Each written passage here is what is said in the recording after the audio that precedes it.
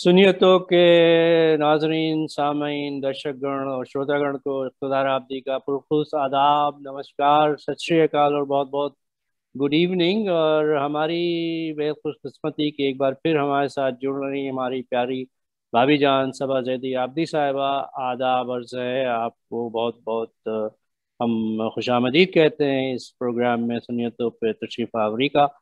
तो बर कर हम हमें बताइए आप हमारे नाजरीन से क्या कहना चाहेंगी? आपका शुक्रिया अदा।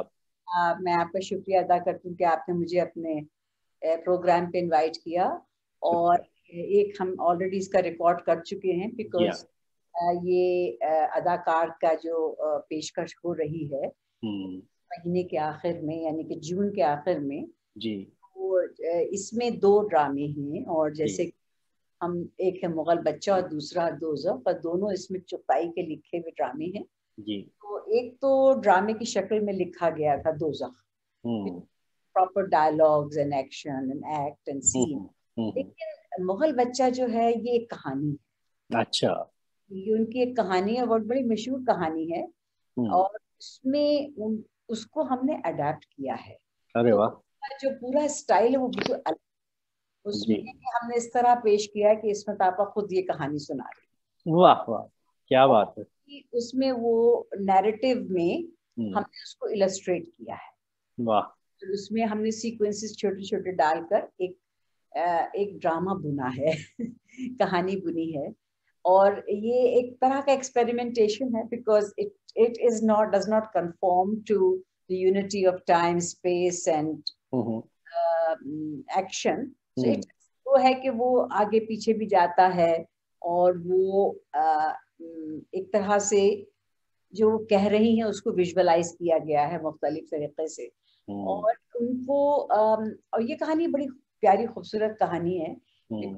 ये भी एक क्योंकि वो खुद बसाते खुद भी मुगल थी और उन्होंने मुगल तहजीब के जवाल उसके आखिरी दौर को जिसका बिल्कुल उसे कहते हैं ना फेडिंग ग्लोरी थी तो उन्होंने देखा हम्म।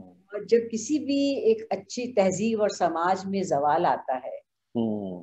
सबसे बड़ा रीजन ये था कि वो इकोनॉमिक डाउनफॉल था या उनके हाथ से जैसे कहती है कि सब ओहदे सल्तनतें जायदादें सब छीन गई लेकिन ये कि ज़ाहिर है एक वो तहजीब के नुमाइंदे थे एक बहुत दिनों उन्होंने हुकूमत की थी हिंदुस्तान पे और उसकी वजह से उनको बहुत सारे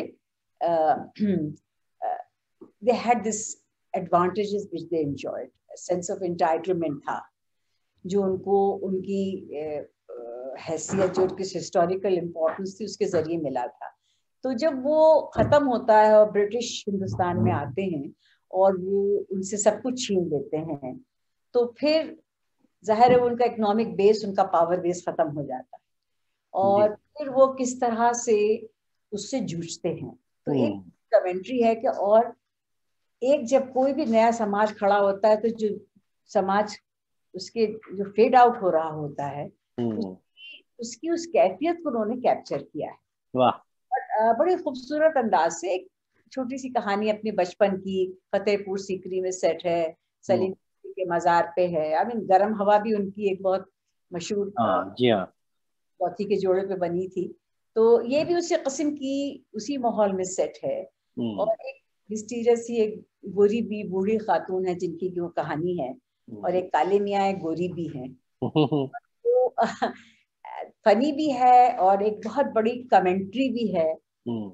कि औरत की लैक ऑफ़ एम्पावरमेंट उसका जो एक जिसे कहते हैं ना कि फेट अकॉम्पली थी जो उसका एक प्रोडिकमेंट था उस समाज हम्म। जो कि ना औरत को इकोनॉमिकली पावर करता था ना हम्म। उसके सोशल हकूक होते थे वो हम्म। एक घर की चार दीवारी में ज़रूर मलका थी लेकिन उसके बाहर उसका कोई वो दुनिया मर्दों की दुनिया थी तो जब वो एक उनकी ज़िंदगी में ऐसा कॉन्फ्लिक्ट आता है तो कैसे वो उससे जूझते हैं और एक मिस्टीरियस ही एक गोरी भी है जो कि अकेली बहुत बड़ी हवेली में रहती है जो उनको ढह गई है ढह रही है। तो उनकी कहानी है बहुत खूबसूरत कहानी है। तो उसको हम मतलब not only that it talks about that era it also talks about the perennial problems of women empowerment and कैसे जो लोग इतने बड़े इतने उम्दा तहजीब को के नुमाइंदे थे किस तरह वो अपनी आ, अपना सारा सेंस ऑफ़ इंटाइटलमेंट खो बैठते हैं। और कैसे फिर वो उनकी नफ्सियात पर उनकी साइकोलॉजी पर उसका असर होता है। तो बड़ी अच्छी सी कहानी है और इसको हमने ट्रीटमेंट जरा अलग तरीके से दिया है। वाह। तो, मैं समझती हूँ कि इसको पहले और लोगों ने भी एक दो लोगों ने किया है और इसकी आप ये सोच डिसाइड कर सकते हैं कि काली मियाँ की कहानी है या गरीबी की कहानी है या उन दोनों की कहानी है। वाह। एक औरत है जो तना ताउम्र इंतज़ार करती है अपने शोहर के लौटने का। वाह। तो ये एक ऐसी कहानी है और कुछ बड़ी मतलब इसमें खास तरह का दर्द भी है खास तरह की कॉमेडी भी है एक सोशल कॉमेडी हम्म। भी है जी। नैरेटिव स्टाइल है। तो इसमें जो बैकग्राउंड है वो किस शहर से वाबस्ता है? फतेहपुर सीकरी के बैकड्रॉप अच्छा फतेहपुर सीकरी माफ़ कीजिएगा वो तो आगरा के पास है। हाँ, हाँ। तो बहुत अच्छा है। तो इसके अलावा एरा कौन सा दिखाया है? उन्होंने इंग्लिश पीरियड की शुरुआत है या उसका खात्मा है? क्लोजर टू हमारा हिंदुस्तान की आज़ादी या नहीं नहीं अंग्रेज़ों ने जब इनको वो किया है हाँ हाँ। के रेमिनेंस हैं। ज़ाहिर it's not very period specific but हाँ ठीक है उस कल्चर को रिप्रेजेंट करते चाहते because I think to me human experience is more important which has then the dates. relevance and importance in all times and ages. So हम ये नहीं कहते कि आज की उसका समाज का या उस समाज की एक प्रॉब्लम थी हाँ उसकी तो थी ही लेकिन आज उसकी नौयत और सूरतें बदल जाती हैं। तो ऐसे अभी भी हमारे समाज में ऐसे लोग हैं जो कि का का विक्टम बन जाते हैं। चाहे नॉर्म्स हो सोशल नॉर्म्स हो या आ, क्या कहते हैं उनकी आ, उनकी हकूक और आज़ादी का हिस्सा हो तो वो हम्म। सारे मसाइल वो हर समाज में अलग अलग मैयतों से एग्जिस्ट करते हैं। That's why they become relevant and they are not immediate stories any any कहानी कोई भी ड्रामा होता है एक खास सोशल मेन्यू में सेट होता है। हम्म, हम्म। खास एक रियल एक उसकी एक अपनी रियलिटी होती है। लेकिन उस रियलिटी में से महदूद नहीं होता उससे आगे बढ़ता है और वो general human condition general human उस पर कमेंट्री करता है। जो समाज में आप उससे रिलेट कर सकते हैं। हम्म। तो वो एक्चुअली दूसरे तरीकों से आजकल के समाज में भी आपको मिलेगा चाहे वो ऑस्ट्रेलिया हो चाहे हिंदुस्तान हो पाकिस्तान हो बांग्लादेश हो चाहे और कोई मुल्क है मेल चॉल तो अभी तक ख़त्म नहीं हुआ दुनिया से। और मुझे बड़ा इस बात का घमंड है हाँ। फख्र है घमंड के हद तक फख्र है कि आप इन इन मसलों को इन मुद्दाओं को सामने लाती हैं ताकि आदमी को सोचने का एक मौका मिले और ख़ुद इसके ऊपर अगर जहन का इनकी आजमाइश हो कि हम इसको सही करने के उठाते हैं। जी। और ये लेते हैं बिकॉज़ मैं सोचती हूँ कि ये एक कल्चर की तो अक्कासी करते ही हैं लेकिन ये उसके आगे भी जाते हैं। जी। और वही उस अच्छे किसी भी अच्छे राइटिंग का या किसी भी अच्छे आर्टिस्टिक एक्सप्रेशन का ये एक अहम हिस्सा होता है कि वो अपनी इमीडिएट माहौल की सक्सेस से निकल के आगे देखे आगे पहुँचे। और यही हमने इसमें इसके ज़रिए किया है। और कुछ एलिमेंट्स को हमने यूज़ किया है। सलीम चिश्ती का मज़ार है वहाँ पे। और हम्म। इससे भी जुड़ी हुई है। तो उसमें वो एक सूफियों का जो एक वो है तो तरह तरह के इसमें लेयर्स हैं बहुत सी लेयर्स हैं। वाह। तो इसमें ये तो कहानी के रूप में था ये ओरिजिनल अफसाना। तो लेकिन उसको फिर डायलॉग में उसको प्ले में लिखा गया तो वो आपके खुद अदाकार के किसी मेंबर ने किया या आपने खुद किया? ये बहुत मशहूर अच्छे प्ले वो हैं ड्रामा निगार भी हैं और खुद बड़े अच्छे प्रेजेंटर हैं प्रोफेसर भी हैं रेडियो का भी ताल्लुक है दानिश इकबाल साहब का। हम्म। दानिश इकबाल साहब ने इसका अडेप्टेशन किया था ओरिजिनली लेकिन फिर हमने इसको काफ़ी चेंज किया उनके साथ मिलके मैंने भी काम किया क्योंकि मुझे हमेशा बहुत अच्छा लगता है कि मैं राइटर्स के साथ काम करूँ उसके प्रेजेंटेशन लेवल पर हम हम्म। साथ साथ मिलके काम करते हैं। फिर हम लोगों ने इसको भी किया कि हम एक कव्वाली को किस तरह यूज़ करें इसके अंदर। Commentary on the end which is relevant to that which is one of the artistic expression of that environment और एक स्पिरिचुअल भी उसकी कॉन्टेक्स्ट है। तो ये सारी चीज़ें हम लोगों ने मिल के तय की कि इसको क्या क्या किया जाए। वो खुद स्टेज के लिए बहुत काम करते रहते हैं। तो I think he is done a great job rest जो भी मिसिंग था हम लोगों ने कोशिश की है कि हम उसको इसमें लेके आए और मैं खुद इस पे काफ़ी मैंने काम किया है। तो let's hope it clicks with the people they like it जी जी तो उसमें फिर कवाली की वजह से तो मौसीकी और गुलकार वगैरह की भी ज़रूरत पड़ी। प्लेस की सारी म्यूज़िक हमेशा आमतौर से आई लाइक टू रिकॉर्ड मुझे ये पसंद नहीं है कि इधर से उधर से हम्म। आप कुछ लगा दें हम्म। हर ड्रामे की एक अपनी स्पेसिफिक ज़रूरत होती है और म्यूज़िक का मकसद वहाँ पे बतौर म्यूज़िक नहीं होता बल्कि किसी भी ड्रामेटिक सिचुएशन को इन्हांस करना होता है। जी। अंडरलाइन जो उसमें सोज है उसको निकाल के लाना होता है। सही बात। ये इसके लिए ये अच्छा होता है कि आप एक अपने हिसाब से चीज़ कंपोज करें। I very talented singer Krishnan who does music for my plays के लिए भी कर रही है वो। हम्म।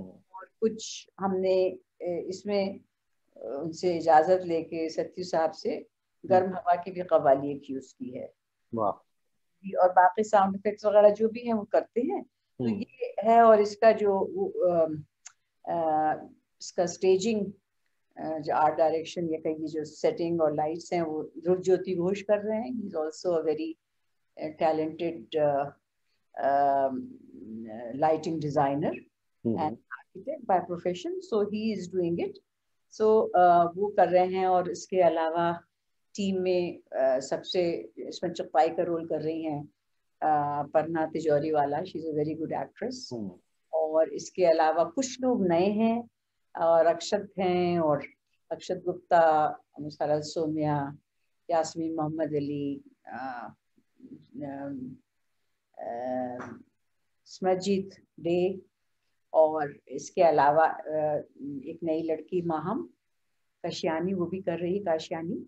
सो so, ये सब नए कुछ लोग नए हैं जो कि पहली बार एक्टिंग कर रहे हैं कैरेक्टर वेरी मच और कुछ बहुत मज़े हुए आर्टिस्ट हैं। तो मिली जुली टीम है और से कहते हैं कि कहते कहते कहानी भी बन जाती है और बनते बनते ड्रामा भी बन जाता है। क्या बात है। तो ये एक एक, एक क्रिएटिव प्रोसेस है काफ़ी टीडियस प्रोसेस है और बहुत रिहर्सल वगैरह चाहिए होती है। सबसे बड़ा चैलेंज होता है इतने लोगों को यकजा इकट्ठा करना with their day jobs and with their other commitments so that is a big act of juggling but when there is a passion when there is a will there is always a way जी पेशगी आफरीन आपको की इतनी मेहनतें कर डाली हैं आपने और एक महीने से कम रह गया है। सत्ताईस जून को ये प्रोग्राम होगा जिसमें एक ही दो शोज़ हैं कि एक ही शो का कंटिन्यूएशन हाँ। होगा। हर शो में दोनों ड्रामे दिखाए जाएँगे because they are both short plays so it's an plays by Ismat Chughtai अदाकार। तो और दोनों को ही मैंने डायरेक्ट किया है। Acting hmm. भी कर रही तो बड़ा मुश्किल चैलेंजिंग काम है लेकिन जी। वी विल गेट देयर जी इंशाल्लाह बिल्कुल इसको एक्चुअल पर्दे पे देखेंगे सुनहरे पर्दे पे तो खैर बाद में आएगा। इस पे देखेंगे इसको। जी वही। लाइव तो, हाँ। लाइव पर्दे पे देखेंगे। तो बहुत शुक्रिया आपका एक बार फिर कि आपने वक्त निकाला और अपने दूसरे इस ड्रामे के बारे में हमारे नाजरीन को हाजरीन को हम्म, बताया। और उम्मीद करते हैं कि सब के सब जो इसको देख सुन रहे हैं, वो इसमें ज़रूर शिरकत करेंगे। और हमारी दुआ है कि इसको फिर जैसे जैसे वक्त और कोरोना इजाज़त देगा, इसको आप इंटरस्टेट और इंटरनेशनली भी इसको आप ले जा सकें। तो इस दुआ और आपके शुक्रिया के साथ हम आपको ये मौका देते हैं कि आप अपने आखिरी अल्फाज हमारे नाजरीन को अता फरमाएँ। जी तो मैं बस यही कहना चाहूँगी कि आप लोग देखें ड्रामीज को पैट्रनाइज करें क्योंकि हमारा मकसद हम लोग कमर्शियल तो है नहीं। हमारा मकसद ये है कि एक रिवायत को एक आर्ट फॉर्म को ज़िंदा रखना और एक कंटिन्यूटी ऑफ़ कल्चर। तो हम लोग जो गैर मुल्कों में आके बस गए हैं हम्म। हम अपने माहौल से कैसे अपने पास से कैसे जुड़े रहें तो ये भी एक कोशिश है इसी के ज़रिए because wherever we go we take our culture with us Definitely. We have to introduce a younger generation and uh, people who are mainstream of other cultures to also know and understand what a beautiful, rich culture we have and a good theatrical traditions. जी बहुत खूबसूरती से आपने ये फरमाया तो आपका बेहद शुक्रिया एक बार फिर और फिर आइंदा आपके साथ और प्रोग्राम्स में भी हम आपको तकलीफ़ देंगे कि आप सुनियतों पर तशरीफ़ लाइए और तब तक के लिए हम आपसे विदा मांगते हैं। हमारे नाजरीन और सामीन को भी हम बहुत बहुत शुक्रिया अदा करते हुए खुदा हाफिज और गुड डे गुड इवनिंग कहते थैंक यू आदाब।